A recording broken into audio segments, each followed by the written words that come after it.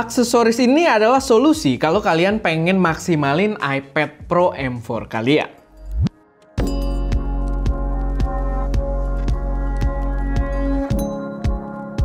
Halo semuanya, selamat datang di channel SM Media dengan gue Erwin dan pada video kali ini gue pengen bahas sebuah aksesoris pendukung untuk iPad Pro M4 kalian. Buat kalian yang mungkin pengen agak irit-irit budget tapi pengen iPad kalian bisa dipakai dengan maksimal. Jadi sebelumnya udah agak lama sih, dulu gue sempat bahas iPad Pro M4 ini di mana itu adalah iPad yang bener-bener racun banget buat produktivitas. Gue aja yang pakai versi 2020 udah kepincut banget buat upgrade ke M4 ini. Cuman memang sayangnya dia nggak bisa dipakai pakai terlalu maksimal atau masih ada gap yang cukup besar kalau misalkan kita tidak menggunakan aksesorisnya. Dan kalau kalian beli aksesoris pendukung kayak keyboard atau pensil dari si Apple-nya sendiri, harganya luar biasa mahal. Maka masuklah Logitech yang menyediakan solusi yang cukup low budget untuk kebutuhan tersebut.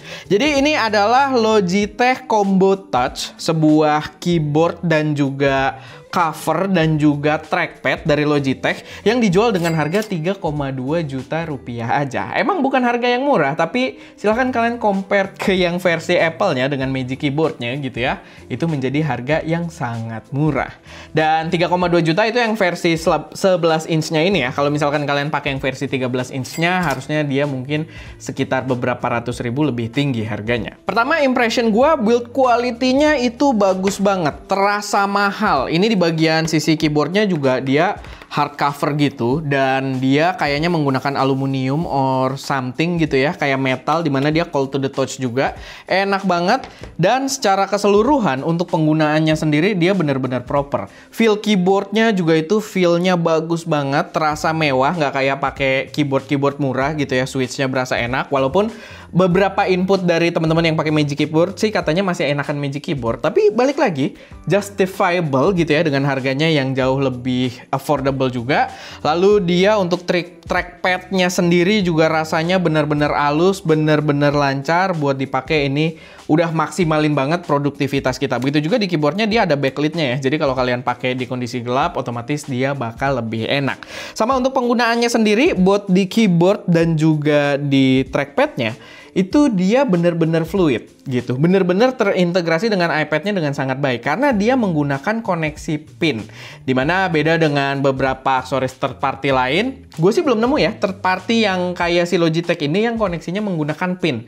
Jadi setahu gue memang opsinya kalau kalian pengen pakai keyboard yang koneksinya pin, itu di M4 ini cuma ada si Apple Magic Keyboard atau ya si Logitech ini gitu. Setahu gue, tapi kalau kalian tahu boleh komen di bawah. Cuman kalau yang iPad gue yang versi 2020 itu sebenarnya ada yang folio juga ya. Setahu gue yang M4 ini nggak ada folio keyboardnya.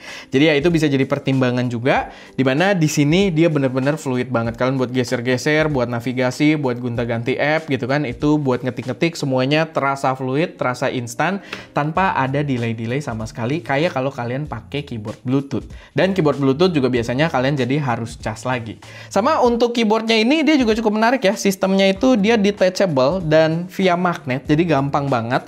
Walaupun sebenarnya sebenarnya dia lumayan kuat gitu magnetnya. Cuman kalian bisa langsung copot dengan cepet kayak tadi dan kalian bisa pakai ya as an iPad aja kayak gini gitu. Di mana kalau kalian pakai Magic Keyboard kan ya kalian harus lepas keseluruhan iPadnya dari si Magic Keyboardnya. Kalau di sini ya kalian masih dapat protection karena masih ada covernya ini. Dan selain itu kalian juga masih punya standnya kalau kalian pengen berdiriin iPadnya digunakan untuk kegiatan-kegiatan tertentu ya buat nonton ya buat desain dan lain sebagainya. Ini juga posisi yang menurut gue cukup cukup enak. Pokoknya buat usability ini menurut gua cakep banget si Logitech Combo Touch ini. Jadi menurut gua worth banget buat kalian pertimbangkan. Tapi di Combo Touch tersebut kalian belum dapat pensilnya juga ya. Tapi Logitech juga menyediakan pensilnya yang harganya itu cuma di satu jutaan aja dan ini sangat-sangat proper. Dia buat nyalainnya pakai switch gitu, ada indikator baterainya juga dan buat ngecasnya dia pakai USB Type C di sisi atasnya. Jadi ya gampang gitu kan karena sekarang apa-apa udah pakai USB Type C juga. Yang cukup unik adalah dia itu bentuknya gepeng. Yang awalnya gue agak skeptis, kenapa dia bentuknya gepeng gitu ya? Harusnya bulat-bulat aja normal, tapi pas dipakai ternyata bentuk gepeng ini tuh somehow ergonomisnya lebih baik gitu. Dan untuk penggunaannya sendiri, balik lagi dia juga bener-bener fluid banget gitu dipakai di sini. Lalu buat minusnya dari si aksesorisnya Logitech ini sebenarnya cuma satu kalau buat gua, di mana kalau misalkan kita pakai keyboardnya dan kita pindah-pindah gitu ya, kita angkat, kalau nggak kita lipat, keyboardnya itu ngamplek gitu. Di mana ini tidak terjadi kalau gue pakai iPad lama gue dengan keyboard folionya. Dan begitu juga kalau kalian pakai Magic Keyboard, dia kan kalau kalian angkat pegang di iPadnya, dia bakal stay gitu kan dengan bentuk yang sempurna kayak gitu. Sedangkan kalau di sini ya kalau kita nggak pakai, lebih baik kita lipat sekalian gitu kan, kita tutup atau ya kita lipat ke belakang atau ya kita copot gitu. Kayak gini langsung copot. Tapi dia memang magnetik, tapi kuat sebenarnya kalau kita dimin kayak gini ya dia akan stay kayak gitu. Cuman ya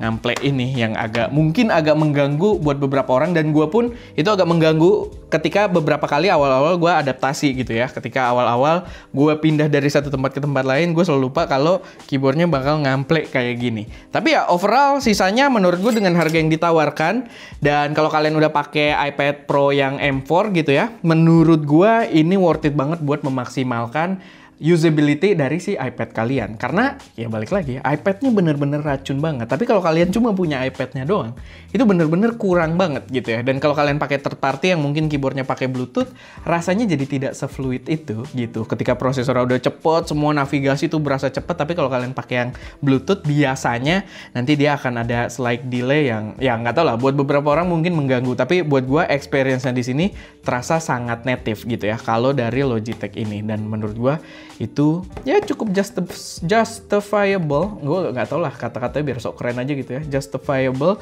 buat harganya gitu dengan harga yang menurut gue masih cukup terjangkau dibandingkan Magic Keyboardnya Apple. Oh iya gue ada lupa satu minusnya sama dia kalau dilipat karena iPad Pro itu kan menjual tipis gitu ya. Sedangkan di sini ya kalau kita lipat karena dia ada armored bodinya juga ya plus minus lah. Dia jadi lebih aman tapi ya jadi nggak setipis kalau kalian pakai Magic Keyboardnya Apple. Tapi ya paling itu aja sedikit informasi yang bisa gue sampaikan di episode kali ini. Kalau misalkan ada koreksi saran atau pertanyaan silahkan taruh aja semuanya di kolom komentar. Dan ya kalau kalian belum nonton gue playset banget mulutnya ya. Kalau kalian belum nonton, kalian bisa cek video review iPad Pro M4 kita. Biar kalian keracunan mungkin buat upgrade ke sini. Tapi ya, paling itu aja. Gue Erwin, di belakang kamera Deska, dan jangan lupa untuk berkarya.